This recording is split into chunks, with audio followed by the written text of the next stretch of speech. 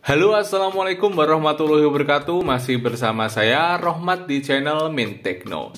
Kali ini kita kedatangan gadget yang murah meriah dari JT Di mana harganya mulai dari 40 ribuan sampai 200 ribuan. Di video ini saya mau unboxing satu persatu produk dari JT ini Dan secara singkat akan saya bahas kapabilitasnya. Gak usah lama-lama langsung aja kita mulai tapi sebelumnya teman-teman jangan lupa subscribe channel YouTube Min Techno dan nyalakan lonceng notifikasinya supaya channel ini semakin berkembang dan bisa memberikan informasi tentang gadget murah dan menarik lainnya. Pertama kita unboxing barang termurahnya dulu ya yaitu kabel data JT CX8 fast charger sebesar 20 watt bermodel USB Type-C to USB Type-C. Dijual di harga 46 ribuan. Packaging penjualnya seperti ini ya teman-teman, dibungkus dalam box kecil terlihat simple. Di dalamnya terdapat kabelnya itu sendiri yang mempunyai bahan branded sepanjang 1 meter dengan daya dukung sebesar 20 watt. Secara build quality, kabel data JT CX8 cukup bagus karena udah menggunakan bahan branded dengan tambahan lapisan karet di setiap ujung portnya. Tentunya membuat pengalaman jangka panjang akan lebih awet dan kabel ini juga nggak mudah kusut.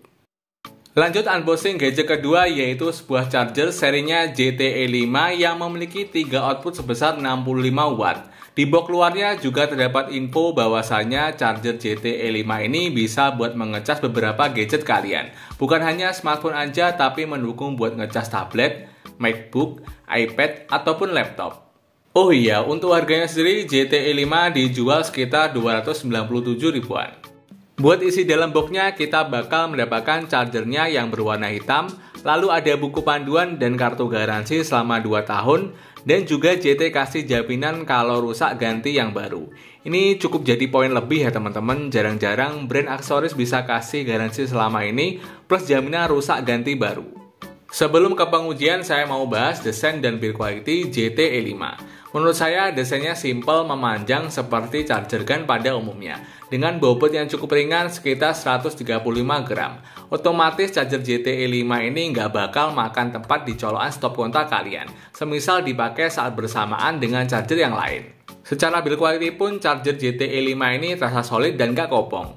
Perihal spesifikasi, charger JTE 5 memiliki 3 buah output, yaitu ada lubang USB yang bisa mengeluarkan daya sampai 60 watt, Lalu ada lubang USB Type-C ke 1 dan 2 yang masing-masing memiliki output sebesar 65 watt. Untuk rinciannya kira-kira seperti ini. Selain memiliki output yang gede, doi juga memiliki beberapa fitur andalan seperti power delivery, quick charge 3.0, dan juga smart key teknologi yang membuat waktu ngecas lebih cepat dan membuat aman dan nyaman saat melakukan pengecasan. Pas saya tes buat ngecas smartphone saya yang mempunyai daya sebesar 33 watt, JTE5 bisa mengisi dari 10 sampai 100% penuh dalam waktu 1 jam lebih sedikit.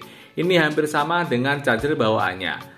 Lantas kalau buat ngecas laptop berhubung kabelnya kita juga nggak punya ya, karena kabelnya ini harus mendukung 65 watt, jadi kita nggak bisa ngetes. Semoga aja JT bisa bikin kabel yang support 65 watt ke depannya. Saya bilang charger JT-E5 udah sangat bagus kualitasnya. Punya fitur komplit serta bisa buat ngecas gadget apa pun hanya dengan JT-E5 ini aja. Mungkin catatan minor dari saya, semoga JT bisa kasih pilihan warna lainnya ya dengan bahan doff. Sejujurnya bahan plastik glossy di JT-E5 ini sangat mudah terkena baret-baret halus. Seperti punya kita ini aja beberapa hari pakai kondisinya udah banyak goresan halus. Berikutnya gadget ketiga ini ada TWS JTT2 dijual di harga 185 ribuan. Dilihat tampilan boxnya JTT2 agak lebih gede ya. Terdapat gambar TWS-nya di bagian box depan. Dalam paket penjualnya kita bakal mendapatkan TWS JTT2-nya, terus ada ear tips tambahan, lalu ada kabel USB Type-C buat ngecas, dan terakhir ada buku panduan plus kartu garansi selama 2 tahun. Secara tampilan, TWS JTT2 bentuknya kecil dan terasa ringan, memiliki charging case berbahan plastik glossy dengan dua pilihan warna, yaitu ada warna pink dan juga warna hitam. Secara spesifikasi, JTT2 pakai Bluetooth versi 5.1 dengan baterai charger case sebesar 300 mAh, yang mana setiap earbudnya memiliki kapasitas 30 mAh, yang diklaim bisa playtime musik dan buat telepon selama 3 jam. Pas fitting di tengah pun JTT2 ini terasa enak dan pas ya. Pengoperasiannya tinggal kita tap-tap aja di bagian earbudsnya, yang responnya cukup bagus buat play musik ataupun pause ataupun ganti playlist lagu. Sayangnya untuk pengontrol volume kita harus kontrol manual di smartphone kita. Pas saya tes buat dengerin musik tipikal TWS JTT2 ini lebih ke treble dan bass ya. Buat dengerin musik pop, suara instrumennya itu udah terdengar cukup jelas dan suara vokalnya nggak mendem. Untuk bassnya sendiri di telinga saya soundsetnya kurang luas ya, jadi kurang jedak-jeduk sih. Tapi di harga segini emang bisa dimaklumi sih menurut saya JTT2 ini. Soal latensi buat nonton video juga nggak kelihatan ada delay. Jadi suara dan video ini terasa pas nggak ada delay yang sangat mengganggu.